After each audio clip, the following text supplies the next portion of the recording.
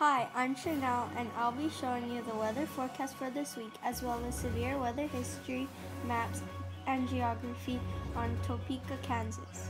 Kansas is located just under Nebraska and is neighbors with Colorado and Missouri. Topeka has history of having snow, sleet, ice, tornadoes, intense winds, and floodings. 70% of annual precipitation falls from April through September. Heavy rains will cause floodings, but dams reduce the problems. Summers are hot with low humidity, but sometimes high humidity and warm temperatures for a short period of time. Winters are cold and the precipitation is often because of snow, sleet, or glaze. Severe storms do not occur often. Topeka features rivers, lakes, valleys, mountains, and cities. This is the Topeka weather forecast for Monday through Thursday. The temperatures range through the week from 28 degrees to 69 degrees.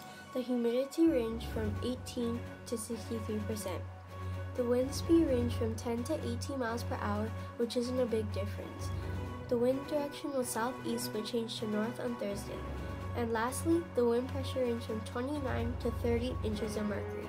That wasn't a big difference either. The conditions through the week was clear. Monday will be clear with a low 42 degrees to high 51 degrees. Tuesday will be clear as well with a low 28 degrees to a high 35 degrees. Wednesday will be clear with a low 28 degrees to a high 35 degrees. Thursday will be clear as well with a low 60 degrees to high 69 degrees. This is a satellite map of Topeka.